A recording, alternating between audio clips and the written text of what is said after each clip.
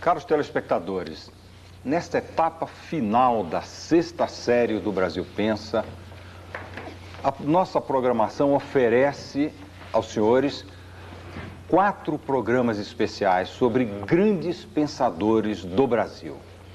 Caio Prado Júnior, Gilberto Freire, Celso Furtado e Sérgio Buarque de Holanda. Convidamos vocês hoje para o programa sobre a obra, o pensamento, a importância de Caio Prado Júnior. Temos aqui a presença ilustre do professor Fernando Novaes, historiador e professor de História Econômica no Instituto de Economia da Unicamp, autor de obras clássicas sobre a história do Brasil, sobre a história econômica do Brasil. Também temos a presença do professor doutor João Manuel Cardoso de Melo, professor do Instituto de Economia da Unicamp, titular de Economia, autor do clássico Capitalismo Tardio, que analisou a formação da economia capitalista no Brasil. E, finalmente, a presença do Bernardo Recupero, jovem pesquisador no Departamento de Ciência Política na Universidade de São Paulo, especialista em Caio Prado Júnior, sobre o qual escreveu recentemente é, uma obra publicada é, sobre o pensamento de Caio Prado Júnior. É com eles e com a participação, sua participação, através da internet, porque o Brasil Pensa está sempre aberto às suas críticas, às suas sugestões, que discutiremos hoje a obra de Caio Prado Júnior. Muito bem, professor Fernando Novaes. Caio Prado Júnior é um marco importante na história sobre como pensar o Brasil, como pensar a história do Brasil. O que é que notabiliza Caio Prado na sua visão? Eu acho que uma maneira de pensarmos, ou melhor, de constatarmos essa posição de Caio Prado, pensamento social brasileiro, é a gente começar a se lembrar de que uma das características da cultura brasileira, marcantes, obsessivas, recorrentes, é esta permanente volta a interpretações globais. Uh, em todos os momentos decisivos da história do Brasil, primeira metade do século XIX, com a independência, na Belle Époque, obras como, por exemplo, a de Euclides da Cunha. Depois, na década de 20, estou associado ao modernismo. Finalmente, a partir de 30, os pensadores de, os pensadores de 30, eh, entre os quais Caio Prado, sempre tentaram interpretações globais do Brasil. Uh, depois de 30, com a implantação das universidades e a modernização do Brasil, uh, agora que se faz a história da universidade das ciências sociais no Brasil, se pensa, o que é normal, que essa era uma etapa, essa ideia de interpretações globais, essa era uma etapa pré-universitária, pré-científica, pré-moderna do Brasil. Finalmente o Brasil estaria entrando no, na globalização cultural e isso estaria superado entrar na área da ciência. Agora, é curioso nós notarmos que essa experiência, e nisso a obra de uh, Florestan Fernandes é absolutamente exemplar, não é? Os pensadores saídos da universidade começam fazendo estudos monográficos e depois caem irrevogavelmente na interpretação global do Brasil. Na obra de Florestan isso é típico, né? começa com monografias específicas, mostrar que um scholar universitário comparável aos americanos, os ingleses, os franceses, finalmente entra na análise do desenvolvimento do Brasil e da classe social, etc. Quer dizer, não é apenas uma noção de atraso, não é apenas uma questão de não modernização, é questão que há qualquer coisa no Brasil, que é essa obsessiva tendência para se auto-interpretar.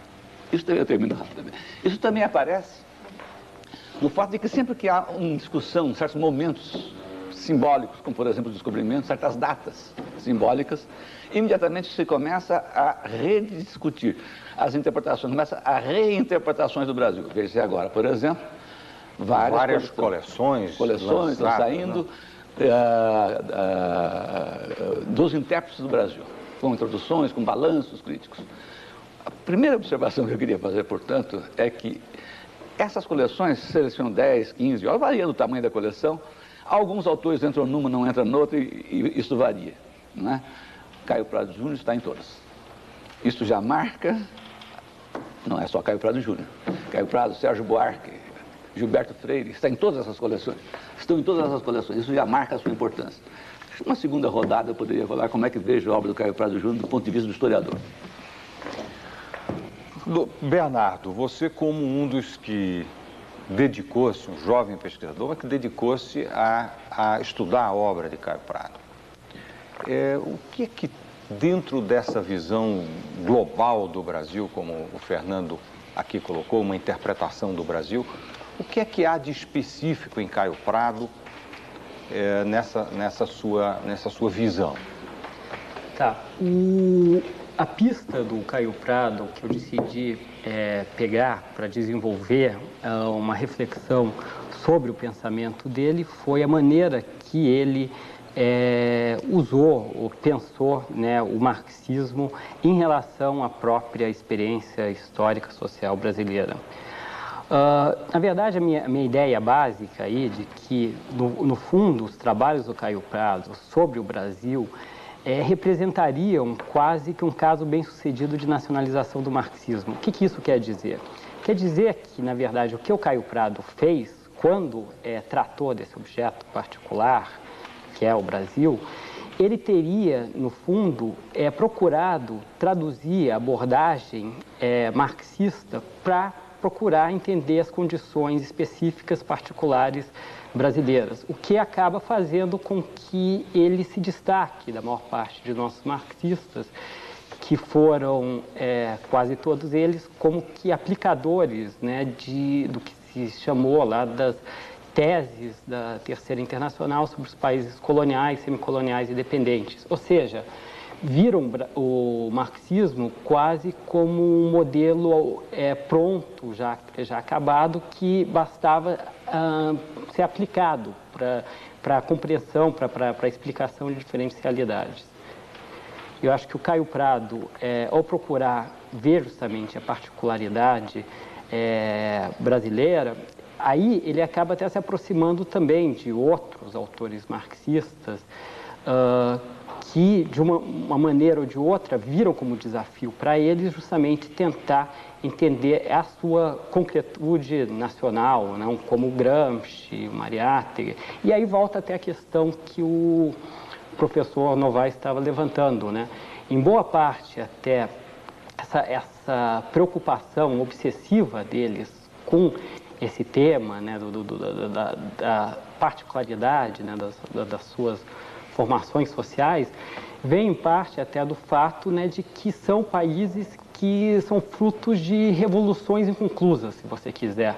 O Brasil e o Peru, se você for pensar no caso do Caio Prado e do Mariátegui em relação à independência, e o próprio ressurgimento italiano. E aí, talvez, possa até pensar por que essa obsessão é, se reinterpretar constantemente, já que a, a própria Constituição Nacional é, não é, é, completada, principalmente em relação à integração dos setores populares é, na vida nacional. Enfim, quer dizer, é, o Caio Prado usa um método marxista, mas ele não simplesmente é, traduziu um prato feito das interpretações da Terceira Internacional, e, e, portanto, buscou entender as peculiaridades do desenvolvimento daquilo que era um grande empreendimento mercantil, colonial, baseado num sistema escravista. Eu queria ouvir do professor João Manuel como é que ele apreende, Caio Prado, essas peculiaridades do desenvolvimento brasileiro. Se é que Bom, se pode falar até de Brasil ainda, mas da colônia, do, do, do que veio, de, veio depois ser Brasil. Quem sabe mais do que eu, professor Fernando Novaes, né? Mas eu gostaria de insistir um pouco aqui, esta, esse amor ao concreto ah, do Caio Prato. Essa coisa de entender o específico, o que é que nos diferencia. E, portanto, a, a, o horror, aquele marxismo ah, é, vagabundo, é, das etapas de desenvolvimento pelos quais todos os países teriam que passar, etc. Ele vai em busca da especificidade. é? do que é nosso, do que. E aí então, é? o ponto de partida dele, claramente, o que é uma interpretação da colônia. É, é outra coisa, não só toda hora nós estamos interpretando e reinterpretando o Brasil, como disse o Fernando, mas todos nós sabemos que a chave para o entendimento do país está, está numa compreensão correta da colonização. E aí, é? a ideia dele, depois passo para o Fernando, a ideia dele é que o Brasil é um negócio. Isso é uma ideia. o problema é o seguinte: coisa atual hoje, né? O Brasil é um negócio ou uma nação? Professor Fernando Novaes, o Brasil, até o nome, o nome do Brasil é de uma mercadoria, que era o pau-brasil, da qual se fazia o tingimento de tecidos, etc. O Brasil já chegou em algum momento a, a, deixar de ser negócio? O empreendimento colonial, do qual o senhor é um dos grandes intérpretes, é, eu sou de temperamento uh, otimista. Eu acho que o Brasil já deixou de ser negócio, é uma nação, uh, com uma série de problemas uh, estruturais profundos que lutamos por, por resolver. Mas eu queria retomar os dois lados, o que diz o João e o que diz o Bernardo. De um lado, a questão a gente está falando aqui do, do, Caio Prado como marco. Né? Sempre que a gente fala no marco, é em que série que, que é marco? Né? O Caio Prado pode ser analisado, a meu ver, dentro de vários marcos. Ele é um pensador e um escritor que pode ser pensado referido a várias coisas. Pode ser pensado relativamente à história do Brasil, ou ao pensamento social brasileiro. Qual é a sua posição? Pode ser pensado em relação ao panorama do marxismo, como fez aqui o, Bernardo. Pode ser pensado dentro da geração de 30 comparar com os outros três. É interessante tentar comparar Caio, Sérgio, Gilberto. Se nós tomarmos essa questão, a, a, o nosso debate enveredou pelo primeiro, que é do pensamento marxista, uh, o Bernardo falou muito bem, essa peculiaridade me fez lembrar uma entrevista do Caio que eu li, não me lembro exatamente onde, mas uh, foi das últimas entrevistas que ele deu, era para uma revista de estudantes, se não me engano. Uma, uma das faculdades da Unesp, em que falaram para ele, uh, eu já tinha tido um escrito sobre o Caio Prado, uma conferência que eu fiz, em que eu chamava a atenção de que ele representa no Brasil o que o Mariátegui representa no, no Peru, exatamente, porque ele escreveu numa época em que todo o pensamento marxista era extremamente ortodoxo, né? e a obra dele não é ortodoxa. Né? Então, a, a, obra dele como marxista é, é num era escrita num período, é, mas tem o padrão e o estilo do que seria depois. E é, talvez por isso perguntaram a ele o que, que ele achava disso. E ele teve uma resposta que eu nunca esqueci, devia ter anotado onde foi. Ele disse, eu, eu, acho, eu não sei se eu tenho essas qualidades, ele era um homem moderno, mas eu acho que se é, é porque o meu assunto sempre foi Brasil.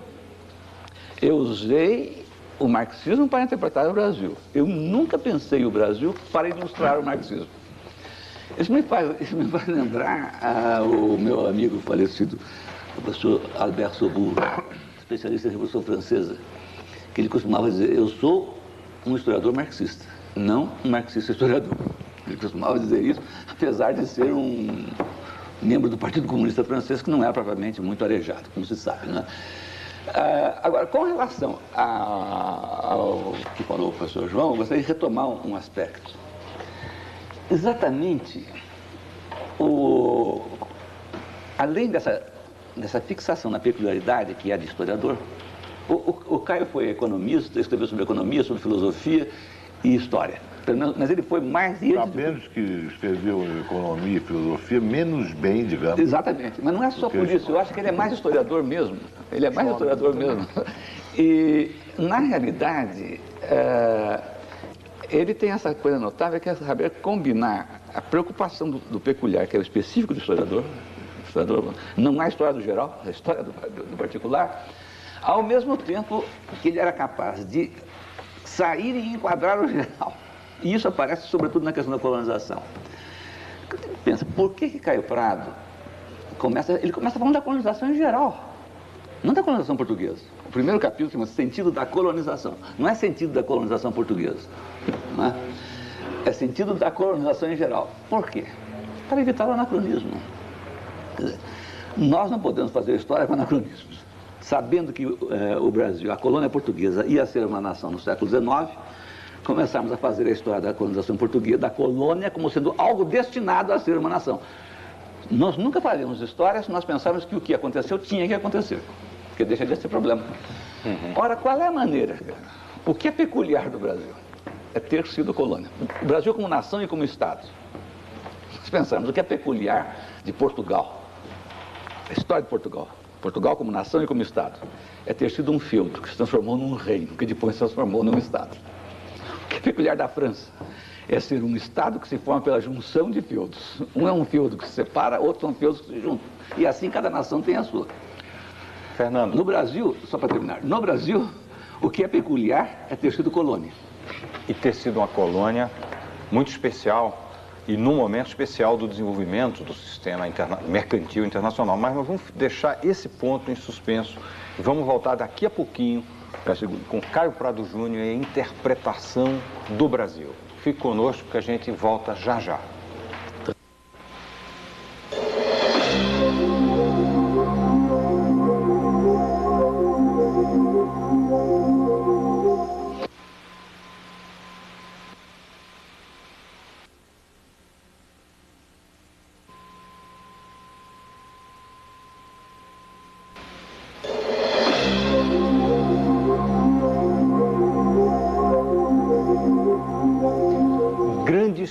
Do Brasil. Essa é a última etapa da sexta série de Brasil Pensa.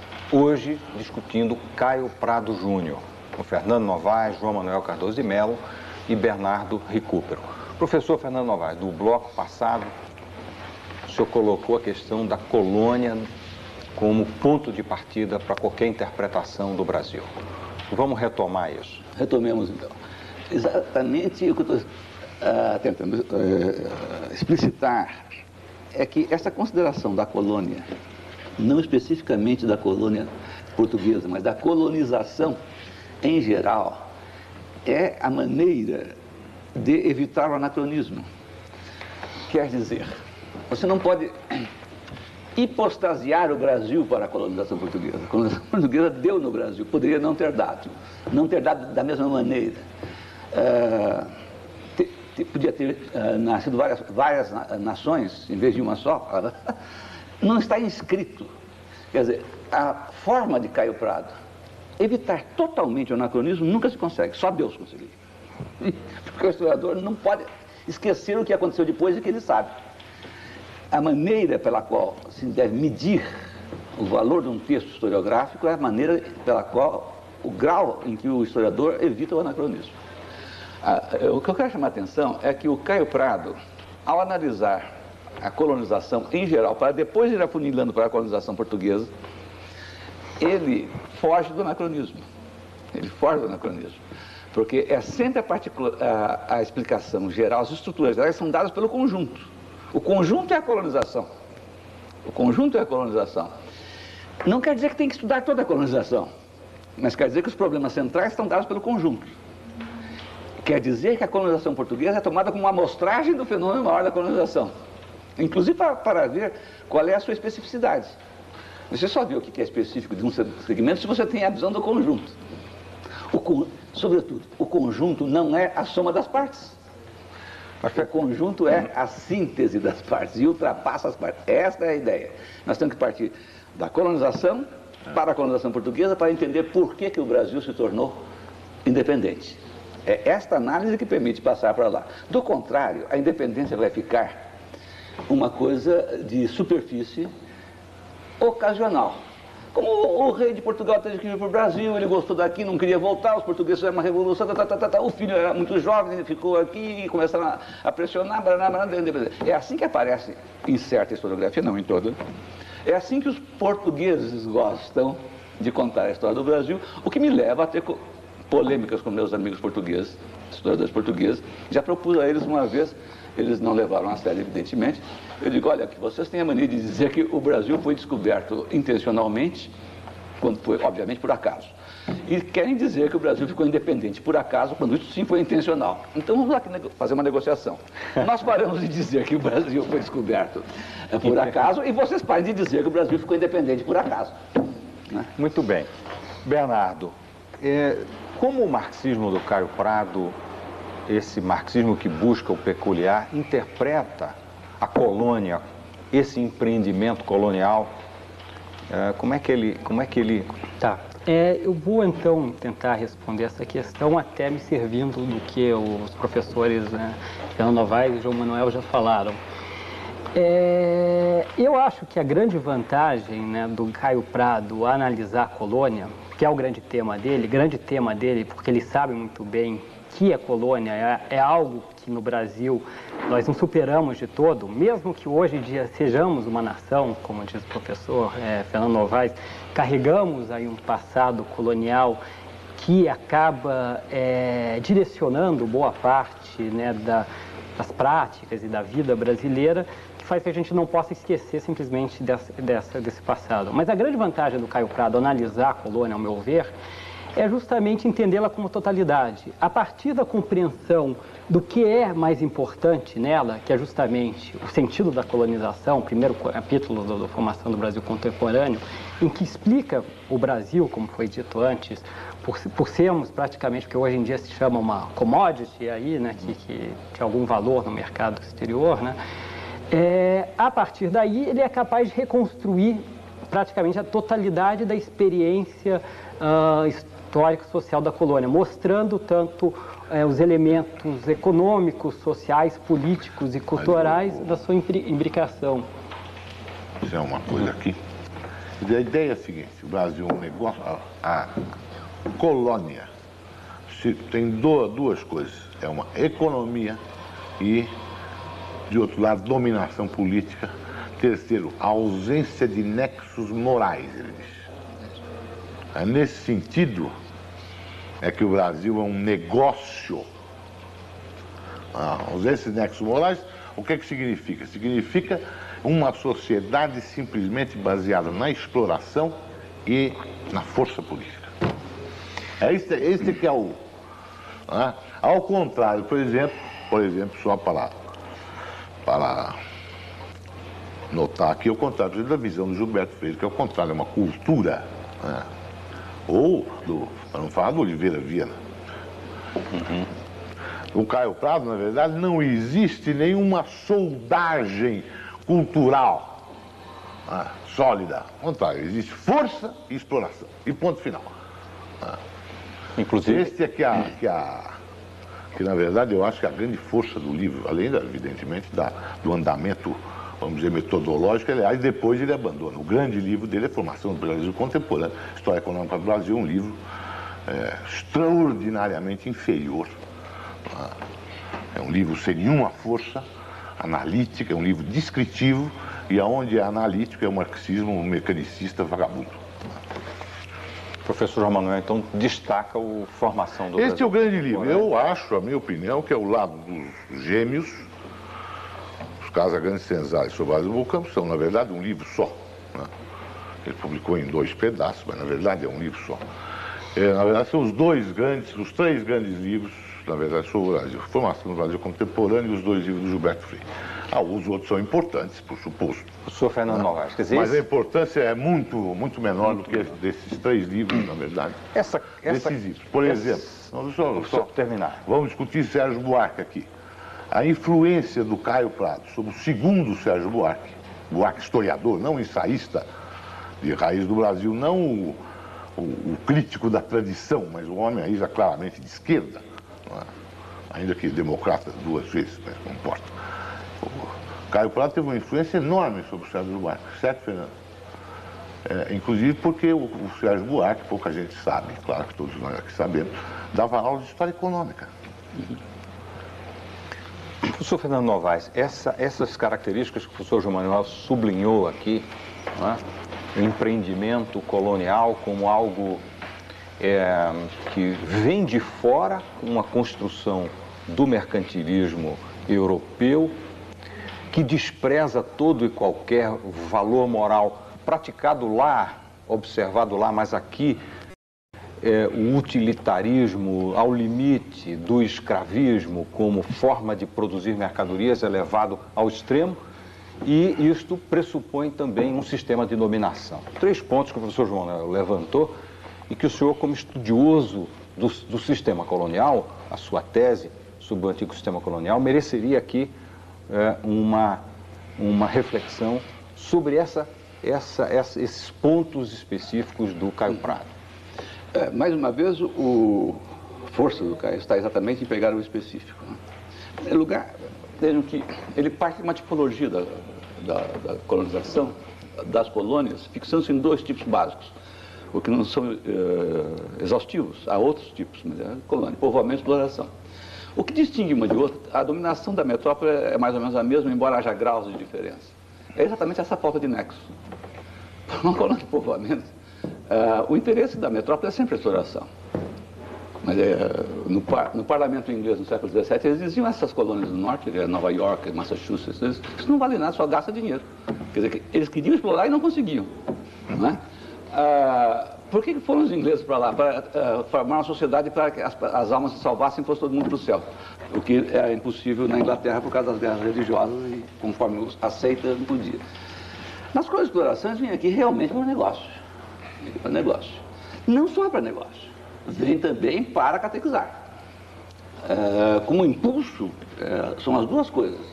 E são sempre presentes permanentemente. Agora, em 1627, o primeiro historiador brasileiro percebeu que, embora os dois sejam fundamentais sobre todos os aspectos, a catequese e a exploração, acaba por prevalecer a exploração sobre a catequese. E ele diz, é por isso que, não diz nesses termos, não diz nesses termos, ele diz, é por isso que o país que se chamava Santa Cruz passou a se chamar Brasil. Isto é, o santo lenho foi vencido pela, uh, pela madeira de mercancia.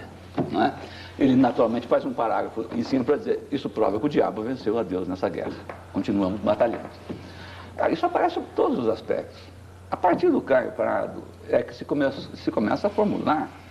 Ah, tentamos, eu e outros uh, historiadores, formular a definição de quais são os mecanismos de uma economia colonial. Que recentemente, as tendências mais recentes da nossa historiografia tendem a dizer que não. Há toda uma polêmica que não, nem dá tempo aqui de entrar, se a economia colonial, quais são as características. É uma economia mercantil, com trabalho compulsório, não necessariamente escravo. Mas trabalho compulsório é a compulsão do trabalho, é o caráter mercantil e, sobretudo, sobretudo, a externalidade da acumulação.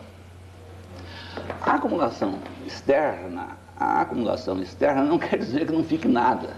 Como já houve críticos que é, o grande problema que o capitalismo brasileiro se formou sem acumulação se prévia. Se eu é puder, é viu, Fernando? Hum. Puder aqui dizer alguma coisa? Diga. Pode não, professor. Né? Nessas novas Formulações? Formulações. Há muito esforço de pesquisa. Né? Estamos diante, às vezes, de pesquisadores até esforçados, competentes. Tal. Mas o problema é que é, é, é, eles não entendem uma coisa, que é uma coisa teórica. Aliás, eu tenho notado em textos de história produzidos no Brasil nesses últimos anos um déficit teórico terrível. As pessoas não sabem sociologia, não sabem economia, não sabem ciência política, enfim é o diabo, né? Qual é o problema? O problema nós estamos falando de uma dinâmica. É isso. É Você só pode caracterizar uma economia a partir, nós sabemos disso, né? a partir do jeito que ela se move. Esse é o problema. Então, se não tem navio e não tem um sujeito na Europa para comer o açúcar, não tem, não tem colônia aqui. Isso é uma coisa de uma obviedade brutal. Né? Mas, de qualquer maneira, só, só assado. Né?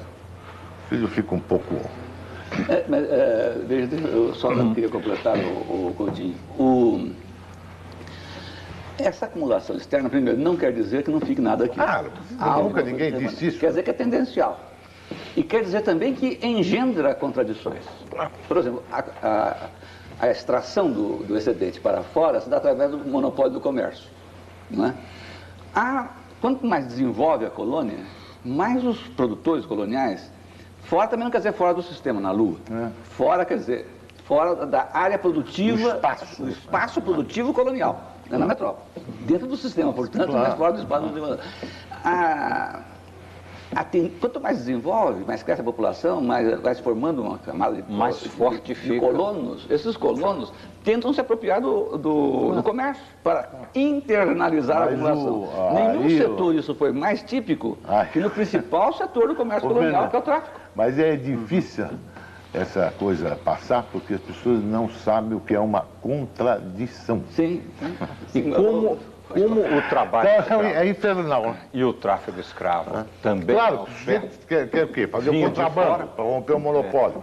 É. É, importar escravo, ele não importar o escravo e não o português. Evidente, está uma contradição que está inscrita na estrutura.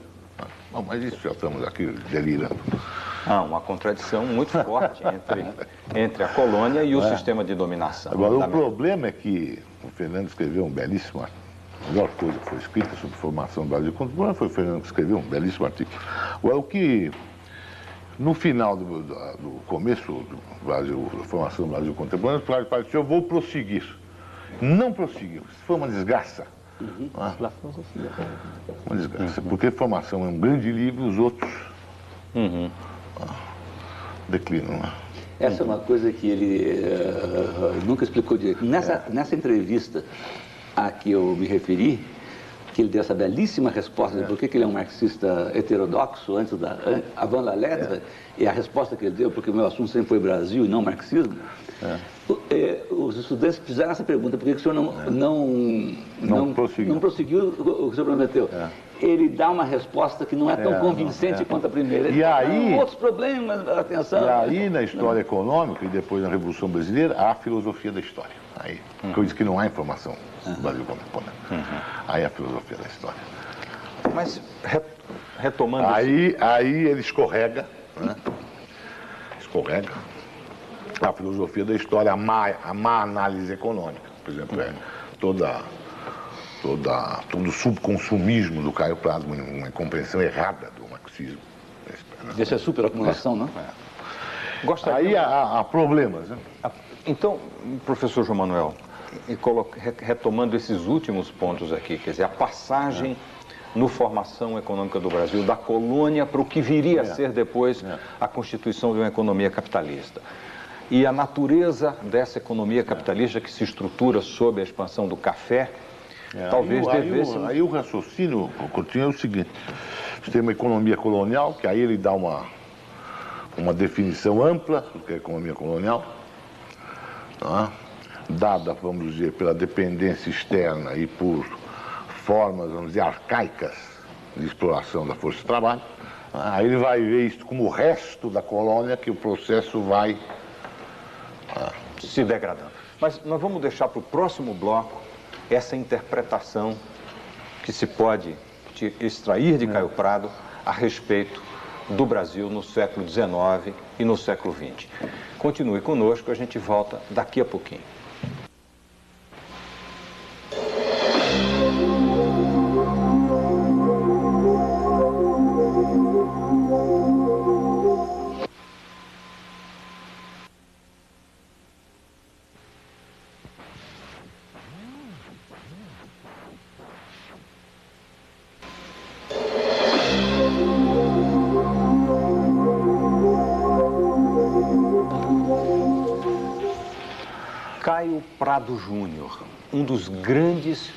Pensadores do Brasil. Pensador que está em todas as coletâneas importantes, é uma referência indispensável à compreensão do Brasil. Discutimos aqui com o professor Fernando Novaes, com o professor João Manuel, o jovem pesquisador Bernardo Recupero, o sentido do jovem e bom. econômica, jovem e bom pesquisador Bernardo Recupero. Muito bem. E, professor Fernando Novaes, para arrematar essa discussão da formação do Brasil contemporâneo e passarmos a uma discussão de como se interpretaria ou quais são os grandes temas levantados por Caio Prado para o século XX, para a passagem de um, de um sistema colonial para um sistema capitalista já estruturado sobre o trabalho assalariado, como que é, é, você é, recolocaria esse, esse, essa temática? Exatamente. Eu acho que naquele primeiro problema de situar Caio Prado dentro do pensamento marxista, Tomando o que o, João disse a respeito uh, de formação do Brasil contemporâneo, isso é, da análise da colônia e os desdobramentos da obra. Uma das diferenças que o, João fez, lamentando que ele não tivesse continuado a formação do Brasil contemporâneo, é que a utilização da dialética um, hegeliana e marxista não é a mesma, ela perde força quando você sai de formação do Brasil contemporâneo para os livros seguintes. É? Uh, nesse sentido é que eu acho que é preciso reler a formação do, contemporâneo, do Brasil contemporâneo desse ponto de vista, do andamento do discurso. Porque se nós entendermos bem como é que se organiza esse discurso, ficam sem sentido questões como economicismo uh, e outras acusações de que o, o, o Caio Prado sempre é, é, é, visto. Por exemplo, a mim, a mim parece que ele parte de uma construção conceitual que é a definição da essência do objeto do que ele está falando. Ele tá falando. Qual é o objeto? É colonização, é sentido da colonização. Fixado esse sentido, que é a extroversão, que é no limite a externalidade da acumulação, não é? Aí ele começa a reconstituir os vários segmentos da vida colonial. Uh, cada capítulo reconstitui empiricamente um segmento e volta, o final é sempre as duas frases finais, os dois, volta ao sentido da colonização. E assim vai até o fim, até chegar no fim. São 12 capítulos. Esse andamento é, é fundamental, porque é o que ele chama de sentido da colonização que explica os vários segmentos.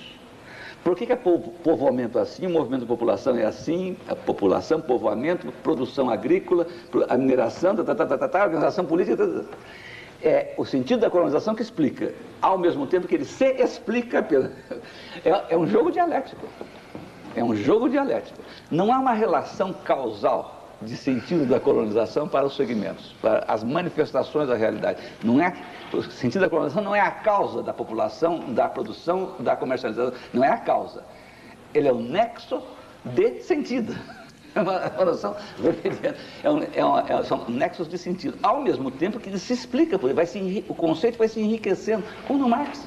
O Marx parte da mercadoria e cada capítulo enriquece o conceito de mercadoria, a mercadoria, o ponto de é, o alfa e o ômega do, do, mar. Sentido da equação alfa, só para terminar.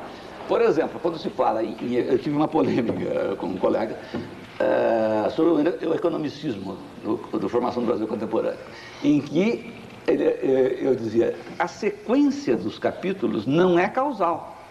Não é a economia que causa a sociedade, a sociedade que causa eh, Estado, Estado que causa a cultura. Esse colega contestou, disse, é porque o Fernando não admite que se faça qualquer restrição ao Caio Prado. Ele disse, é, ele disse que não é causal. Mas então é por acaso que ele pôs nessa ordem? A verdade é que ele pôs nessa ordem e, portanto, eu tenho o direito de achar que ele pôs na, na sequência causal. Eu respondi dizendo, então você não deve dizer que ele é economicista. Tem que dizer que ele é demograficista. É, porque a primeira ele começa com a população. Uhum. Ele não começa com a produção. Ele começa com a população. Então, começa com a demografia para é, passar para. É, então. com mas, isso acho que ele podia mas, fechar. Bernardo, como que, como você, como é, um intérprete um, de, do marxismo do Caio Prado, é, vê esse reencontro na obra do Caio Prado de uma interpretação de uma sociedade que finalmente se estrutura sob relações assalariadas de produção e onde a acumulação é, tem como eixo o mercado interno. Né? Isso, digamos, depois de três séculos e meio de colônia escravista, sucessivamente se vai formar uma grande, um grande espaço com população e territórios e que desembocará nisso. Se me permitir aqui meter minha colher na sua pois pergunta, não.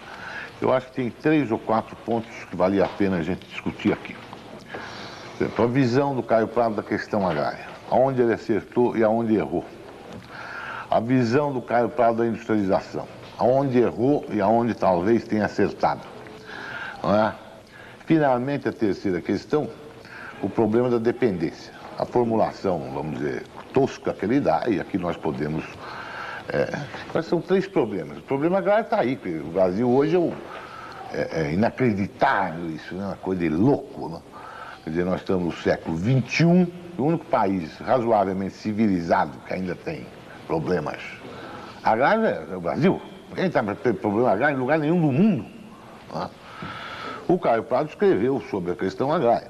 Onde é que ele acertou? Em alguns países. Não, é agrária da terra da mesmo. Terra. Não, senhor. Tem problema de doença, de fome, fome tá certo? De, coisa de apropriação da terra monopolizada, não tem. Tá? Então, onde é que ele acertou na questão agrária? Acertou dizendo o seguinte, nunca houve feudalismo no Brasil. Isso é verdade. O sujeito, não, feudalismo, que feudalismo? Você não sabe o que é isso, não. Ele mostrou direitinho, aqui não tem feudalismo nenhum. Né? Por isso, por isso, por aquilo. Né? Onde ele errou? Ao tirar consequências políticas disso. Bom, onde, como, não tem feudalismo, o problema não é um problema da terra. É um problema de levar as relações de produção capitalista para o campo, é um problema, portanto, de extensão da legislação trabalhista, etc. Certo? Não, errado, completamente errado. Porque uma coisa tem a ver com a outra. Quando se vier a discutir Celso Furtado, Furtado fez uma das melhores coisas que ele escreveu, um pequeno artigo sobre esse problema, para mostrar, na verdade, que a forma de apropriação da terra na fronteira acaba determinando é?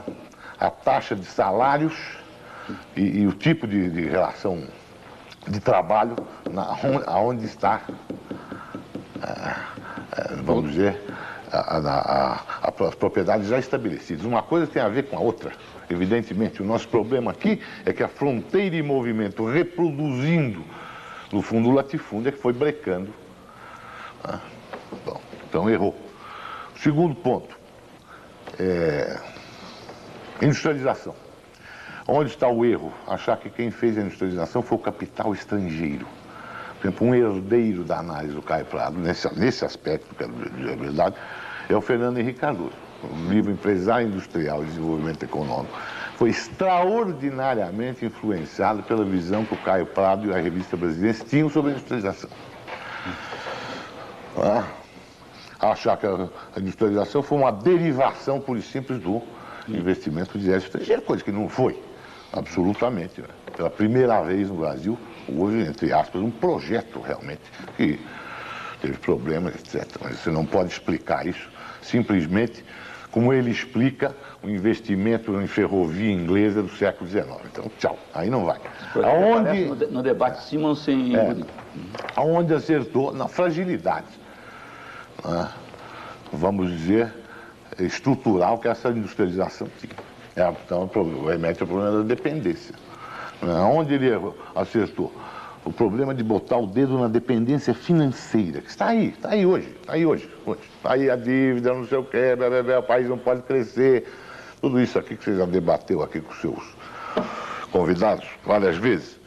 Ah, onde ele errou é que ele está uma formulação ligada, na verdade, problema de remessa de lucros, de enfim, uma coisa solta, boba, nesse caso, e mais do que isso, é uma coisa que não rebate, na verdade, para o problema que nós insistimos, você inclusive, já faz 30 anos que nós falamos isso, acho que não fomos muito ouvidos é, do que significa a montagem de uma estrutura interna de financiamento que dê o um mínimo de autonomia ao país.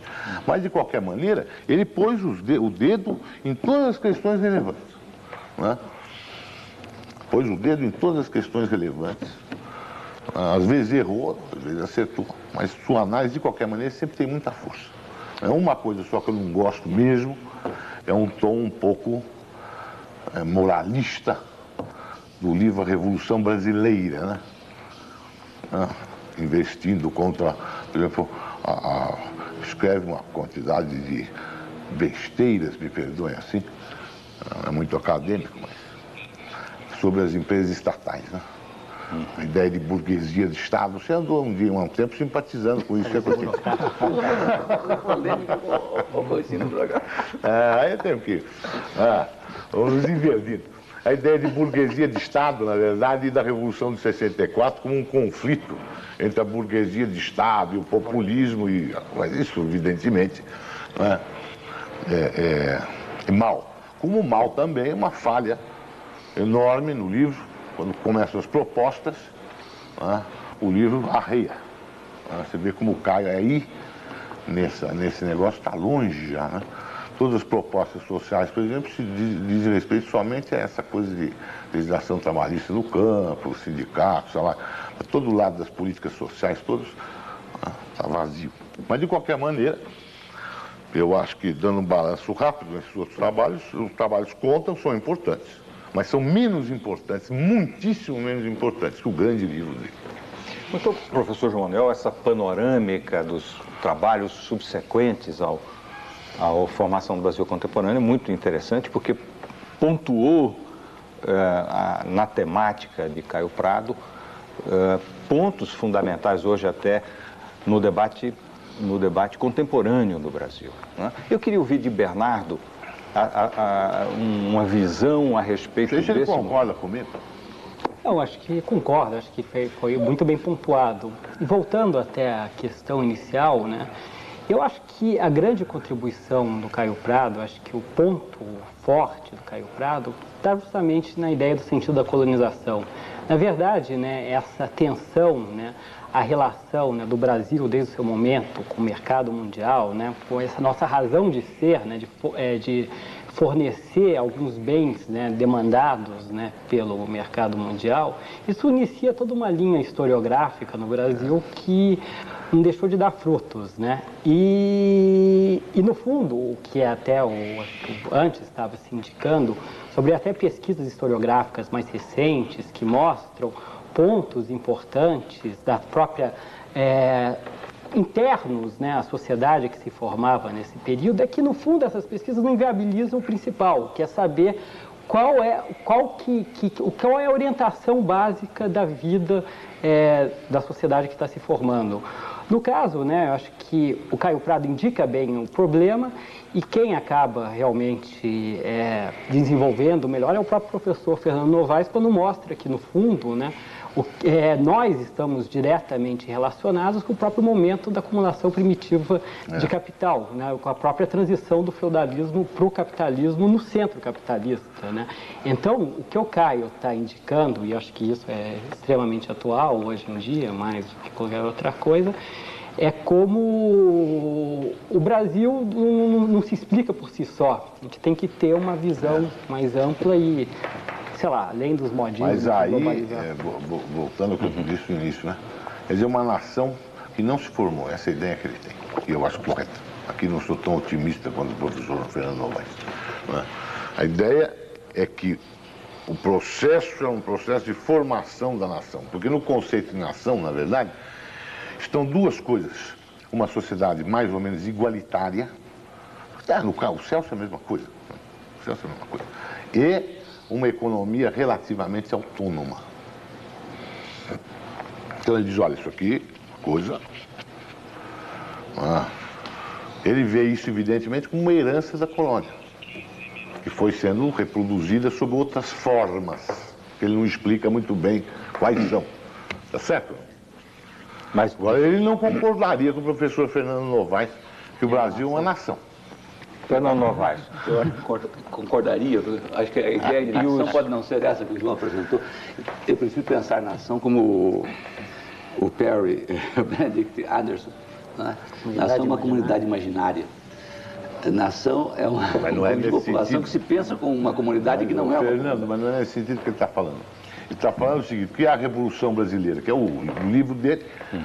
Né? aliás, pelo que, qual, que, livro pelo qual ele foi... Que a nação deve ser. Preso, futuramente. Eu gostaria de dizer isso aqui, nesse programa, né? falar um pouco da dignidade deste homem extraordinário, que sempre manteve as suas convicções.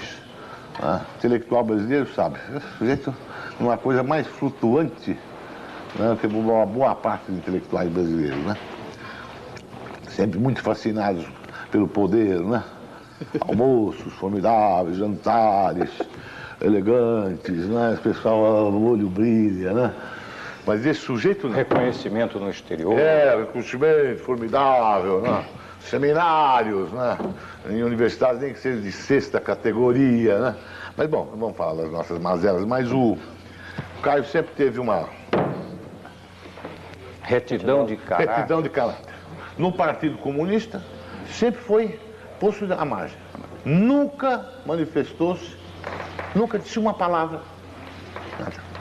Só as divergências intelectuais ele pôs no papel. Mas nunca saiu da boca dele nenhuma palavra despectiva em relação ao partido que ele ficou a vida. Segundo, desgraçadamente, a, a, a, academia, a universidade não o obrigou também. Ah, isso eu não entendo muito bem por quê. Por circunstâncias, ele fez, imagine, um concurso na faculdade dele, que era um antro de reacionários. Terrível, ganhou um sujeito, foi meu professor, o concurso que ele participou, um sujeito chamado José Pinto Antunes. É, até morreu, coitado. Mas um sujeito horroroso que defendia o especulador. Me lembro aulas que esse Pinto Antunes dá, dava na faculdade em defesa do especulador. Esse especulador tem um extraordinário papel na sociedade. Ele foi esse que ganhou o concurso do qual o Caio perdeu o concurso. Mas depois. Então sempre foi uma, uma pessoa que ficou meio marginal no seu partido e marginal em relação à universidade. Mas sempre um homem de uma integridade e o único intelectual brasileiro realmente que foi para a cadeia durante muito tempo perseguido por causa de uma entrevista que ele deu para o jornalzinho da Faculdade de Filosofia, não foi, Fernando? Sim. É, isso é, é a última, é, a última prisão, já tinha estado preso, preso, preso, preso, anos preso. Fernando Novaes, nós estamos no fim, o professor João Manuel fez essa homenagem a Caio Prado pela sua coragem, pela sua retidão de caráter, pela sua coerência ao longo da sua vida, por ter enfrentado. Eu queria ouvir de você, como historiador, uma avaliação da pessoa Caio Prado. Uhum. A avaliação da pessoa é a mesma que o, o, o João fez. É a história do Caio Prado Júnior, história no sentido do concreto. Não? Mas, do ponto de vista da história escrita, da história que ele faz, eu acho que nós podemos voltar a, ao início do programa. Qual é a posição, como é que ele se situa. Uh, e aí eu acho que nós voltamos a essa grandeza que se refere, refere o João Manuel como pessoa. Né? É, é, vejamos, o, não é por acaso que o de todos esses autores, talvez seja aquele que nos últimos tempos tenha atraído a má atenção dos jovens pesquisadores. Há várias teses, essa é uma das melhores, evidentemente, uh, sobre o Caio Prado, uns quatro ou cinco, pelo menos, uh, que são defendidas nas universidades brasileiras uh, em várias perspectivas. De nós estamos, aqui na USP tem três. Nós estamos, na realidade, redescobrindo o Caio Prado. Isso eu acho muito salutar. Se nós pensarmos aquilo que dissemos no começo, na primeira rodada, as séries dentro dos quais se pode avaliar, tentar situar Caio Prado, pensamos na historiografia brasileira, no pensamento marxista, e terceiro, entre as interpretações do Brasil. Fernando, não falamos, desculpa te interromper, mas na verdade, com a evolução política do Brasil, bastaria a evolução política do Brasil para ele estar na história das ideias. Porque Sim. foi a primeira vez que o conceito moderno de história, história como processo, foi uhum. aplicado no Brasil. Sim. Sim. Ah. Eu diria que, dos, se tomarmos qualquer dos três, uh, dos grandes pensadores, dos grandes intérpretes do Brasil, não há nenhum deles uh, que está em primeiro plano nessas três vertentes. Claro. pegar, por exemplo, Gilberto Freire é, sem dúvida nenhuma, um grande intérprete do Brasil, tão grande quanto uh, Caio Prado ou Sérgio Buarque, é do mesmo nível, não há a menor dúvida. Ele não tem uma grande importância na história do, uh, do, do marxismo, obviamente não tem, o Caio tem. Uh, do ponto de vista da historiografia, propriamente, também não tem, ele não é propriamente um historiador. Então nós temos aí... Ou seja, o Caio. Ele participa das três é vertentes. grande em três vertentes. Ele participa das três é, vertentes. É, mas o está certo. Mas o interessante. Como historiador, como historiador do Brasil e como pensador marxista. Se você, é único. É, isso é uma coisa, especialmente para os jovens meditarem. Jovens. Todos eles é, pensam a partir da história. Uhum, isso. Cada um entra na história de um jeito. Um entra com sociologia, outro entra com antropologia, outro entra com economia, outro entra com marxismo. Mas todos pensam a partir da história e todos pensam várias, em várias dimensões, ainda que às vezes não desenvolvam. Uhum. Mas, é e portanto, chegando dizer, ao fim o do... O que eu me pergunto aqui é se esta, esta, esta agora coisa dos 500 anos não há de servir para que a gente medite sobre o que há de melhor na nossa tradição intelectual. Porque o que há de, de melhor na nossa tradição intelectual é isto. É historicismo. Não é, na verdade, não é a cópia, a macaqueação de padrões americanos de, de ciências humanas, né, que agora fizeram uma enorme invasão aqui né, para nosso tormento. Muito bem. Caio Prado não só pela originalidade, pela grandeza, pela capacidade de ter abrangido do marxismo a história, a, a percepção política, pela sua grandeza, retidão de caráter, pela contribuição. Um homem que amava o Brasil. Um homem sem o qual não se pode entender o Brasil e, especialmente, a história do Brasil talvez nasça com Caio Prado enquanto visão metodológica, enquanto visão de um processo de desenvolvimento. Eu quero agradecer a Fernando, a João Manuel, a Bernardo por esse Brasil Pensa e convidar o telespectador na semana que vem para a continuação dessa última etapa da sexta série sobre grandes pensadores do Brasil.